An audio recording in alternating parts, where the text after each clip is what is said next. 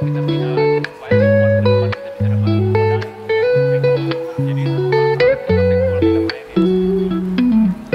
Gubernur Gorontalo Rudi Salahuddin menyambut kepulangan para atlet, pelatih dan ofisial kontingen Provinsi Gorontalo pada perhelatan Pekan Olahraga Nasional atau PON ke-21 Aceh Sumatera Utara di halaman rumah jabatan gubernur Rabu 25 September 2024.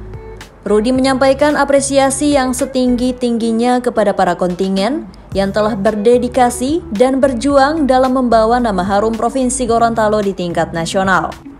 PON tahun ini Provinsi Gorontalo telah berhasil meraih tiga medali emas, empat medali perak, dan enam medali perunggu.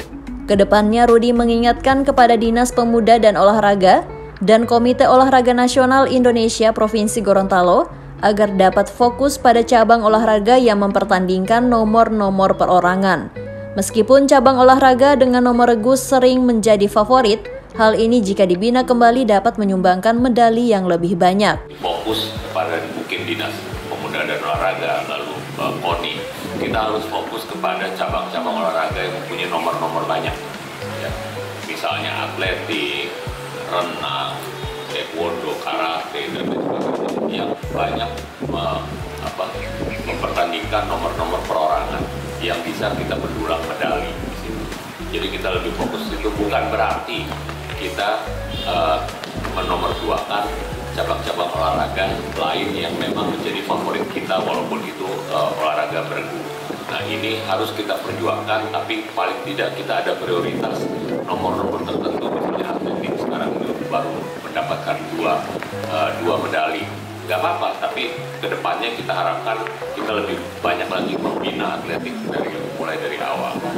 Nah uh, untuk itu saya pikir nantinya harus kita betul-betul serius menganggarkan juga uh, untuk pembinaan uh, baik itu pembinaan untuk uh, olahraga uh, massal yang ada di sekolah-sekolah maupun olahraga prestasi melalui KONI.